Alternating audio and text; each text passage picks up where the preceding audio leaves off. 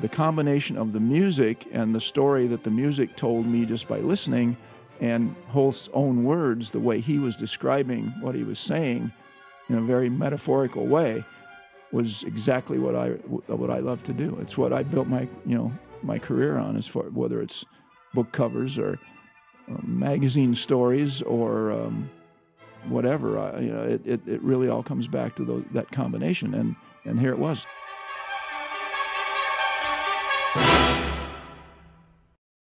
I have found a new way to stay, I hope, relevant, and that is with a more sequential way of storytelling.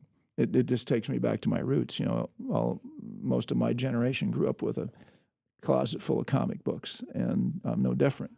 It might not sound like a big deal, but that's that's a big shift in the way a 2D artist like myself looks at their work. I mean, I, I haven't become a comic book artist or anything like that, but I am much more interested in, in in telling stories in a, in a cinematic kind of way. And I think you'll see that in, in this version of the planet.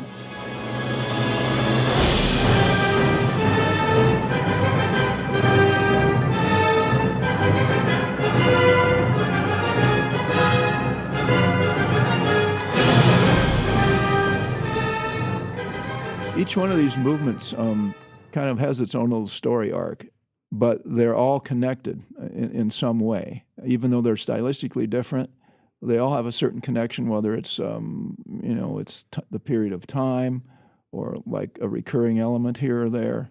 Well, for, for example, um, in, in Mars, um, we open on a what seems to be a peaceful, maybe Belgian or Fre- uh, French village, imagining the war on the horizon. The same village shows up in peacetime in Venus. And then the same village shows up again, incidentally, in a different medium, in a different, slightly different style, but the same village, the same image, shows up again in Mercury.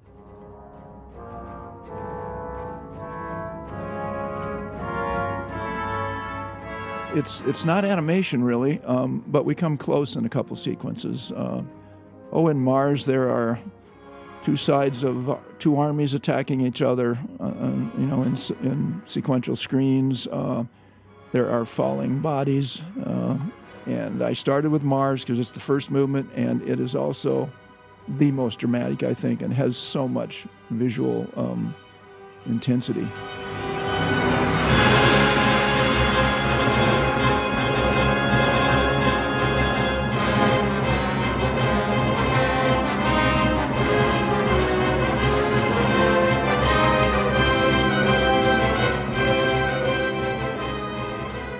Once we got past um, um, war, peace, the winged messenger, which is Mercury, then comes Jupiter, and it, it has big music and, and lively music, and and I thought, okay, what what what was happening? What happened after?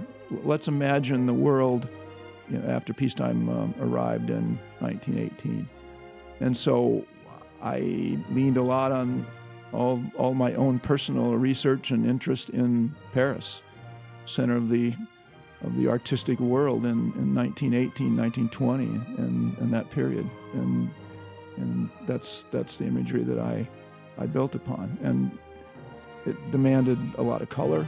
I, I thought it, it demanded some architectural imagery. I didn't want this to be only figures moving around the screen. I wanted, I wanted landscapes, I wanted architecture, um, maybe some still life uh, imagery.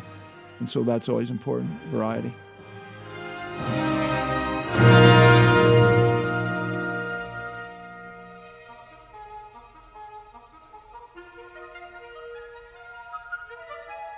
There's a lot of oil oil paint on paper with pastel. There are there's oil on canvas, like I said, large paintings. There are smaller, um, more organic monotypes. Um, there are drawings. Uh, there's a little bit of collage.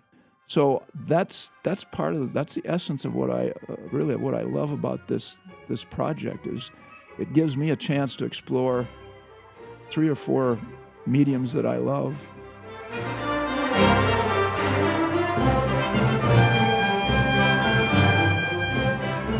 So much happens within that 50, 55 minutes, all the way from war to peace to, the joy to old age. I mean, what more could you ask for as, a, as a, any kind of an artist? I think uh, thematically, it's been fun. It's kept me kept me young, kept me excited, um, and uh, I'm, I'm having the time of my life right now.